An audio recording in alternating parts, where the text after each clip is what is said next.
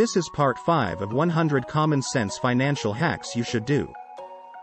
In this video, I will show you another 20 steps you can take toward your financial goals.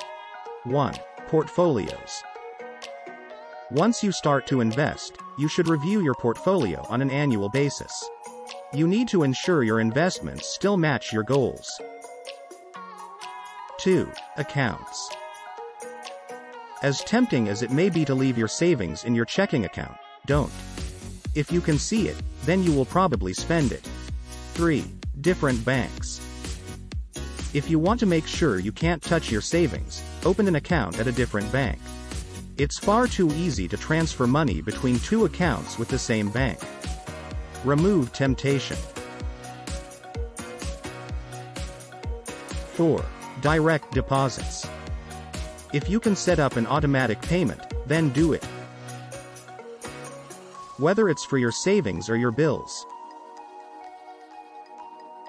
It's especially important for your savings, though. You don't want to forget to move your savings one month and miss out. 5. Your financial emergencies. Your rainy day fund wasn't intended to pay for a wedding. If you are planning a wedding, then create a separate savings fund for it. A true financial emergency will include auto troubles, home expenses, funerals, medical emergencies, or a job loss. 6. Renter's insurance. Natural disasters, burglaries, vandalism, whatever it is, you need renter's insurance. Many of these will also cover you in the event of someone getting injured on your property or damages that you caused to someone else's property. 7. Repayment options. If you already took out a federal loan and you're struggling with your repayments, then contact your lender. They have plenty of options available to make payments easier. 8.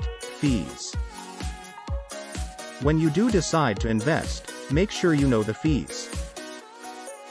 Expense ratios can seriously eat into returns, so the best move is to take advice from professionals before you invest. 9. Credit unions. They might not be the right move for everyone, however, they tend to offer better interest rates on loans and savings accounts. 10. Experience life. What will bring you more happiness? That fancy coffee machine or a once-in-a-lifetime concert? Memories are more valuable than material goods. So, make wise decisions. 11. Quality over quantity. When you make decisions about clothing, think long-term. For example, you may have to pay more for a basic item of clothing, but it's going to provide you with more value in the long run. So, that shirt that ticks the trendy boxes might be cheaper now, but how long will it last? This also extends to gadgets, toys, and beyond. 12. Too much savings? Is there such a thing? There is if you haven't made any investments. The ultimate goal is a full 12 months of savings. Beyond that, you should be seriously considering some investments. 13. Save now. Don't put savings off. Start now, even if it's just $10. 14. Solo shopping trips. If you know your friend always pushes you to make purchases you can't afford or don't need, don't go shopping with them. You can either go on solo shopping trips or, you can invite a friend you know is a stickler with money. 15. Shop realistically. This is twofold. First of all, shop for the current you. If you plan to lose weight, don't buy a smaller size for later. Either avoid shopping altogether or simply buy clothing that fits you now. Also, don't shop for someone you aren't. For example, you don't need a full set of triathlete workout gear for basic exercise. 16. FAFSA.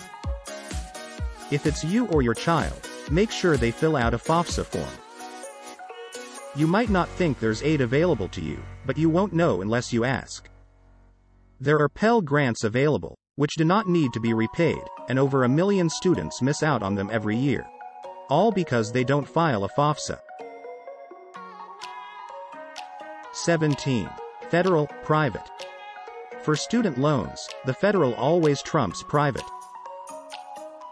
The federal loans on offer have more flexible terms for repayment, which is especially important if your career doesn't pan out how you plan it to. They also offer better interest rates. 18. Retirement Savings Boost. When you get a raise, use it to increase your savings for retirement. 19. Credit Utilization Rate. Divide your total debt by the total of your available credit. Your use of credit should remain less than 30% of your available credit. Why? Your credit score. 20. Secured credit cards. Do you have terrible credit that you're trying to recover? A secured credit card can help. You can't overspend, you don't need good credit to get one, and you can rebuild your credit. As always, this video is for educational purposes only and not financial advice. You should always do your own research and speak to a financial advisor before making any investment decisions. Thank you for watching us and see you in the next one.